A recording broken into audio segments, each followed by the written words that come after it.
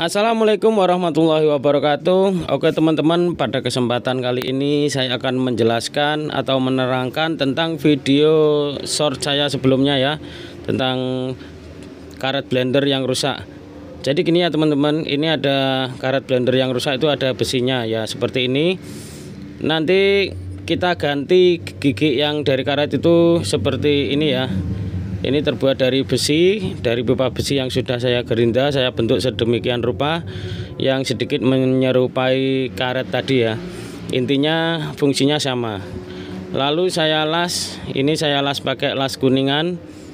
Seperti ini ya bentuknya teman-teman. Jadi saya las agar nantinya kuat. Lalu kita pasang ya seperti ini ya teman-teman nah, jadi giginya itu juga pas. Oke di video short saya sebelumnya jadi saya jelaskan kembali. Ini adalah tayangan video short saya sebelumnya. Saya ulangi lagi ya teman-teman. Jadi karet ini yang sudah rusak ini kita buang saja. Lalu kita buatkan dari besi. Bentuknya seperti ini. Ini saya buat dari pipa yang sudah saya gerinda.